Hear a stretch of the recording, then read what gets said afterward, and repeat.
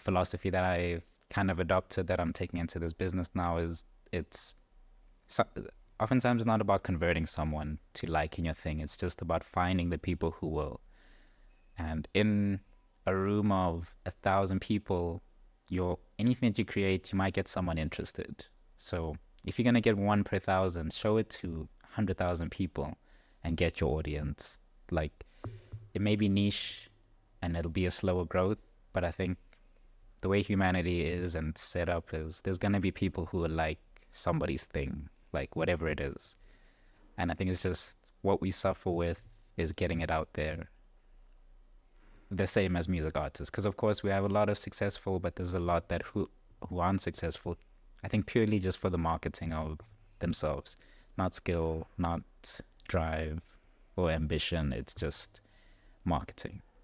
There's an important conversation in that around distribution channels, which nowadays is social media.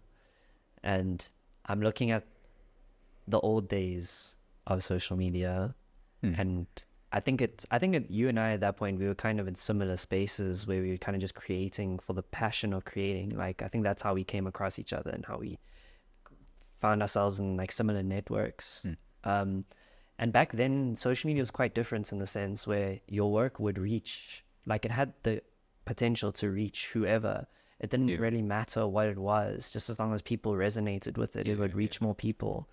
But then what happened is the algorithms changed and this is when I stopped posting my own stuff. If you go on my Instagram feed and you scroll down, you'll see there was a point in time where I just stopped like Yeah. putting out stuff that I liked making.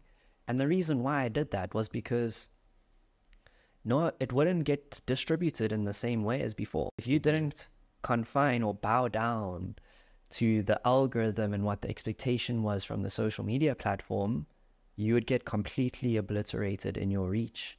And I think that's a huge issue in my, you know, opinion. And the reason why I say that is because the way I view social media is social media is essentially a public space. So like Yeah. think about going to a park. Anyone is allowed to go in a park. Anyone's allowed to decide where they want to sit, what they're going to look at. You have the choice. But what's happened in this digital park is there's a whole bunch of rules. And if you don't follow those rules, then you get the little corner crappy part of the park. Yeah. And that's like your where no one wants to be. And I think that's an issue because what's happening now is more and more of our lives and existence is online. But we don't view it in that same way. We don't view it as a public space. And I think that's I an think- issue. I think it's it's a public space, but not really. It's it's a company. Like It's like they're building. yeah, yeah. and they're driven by profit. And I think that, of course, has been the why social media has changed. Is because they want to show us more adverts than back then. I don't even know if were there adverts on Instagram like early days. If they were, it was like few and far between. But now it's like every third post maybe is an advert. These aren't our spaces. We don't have that control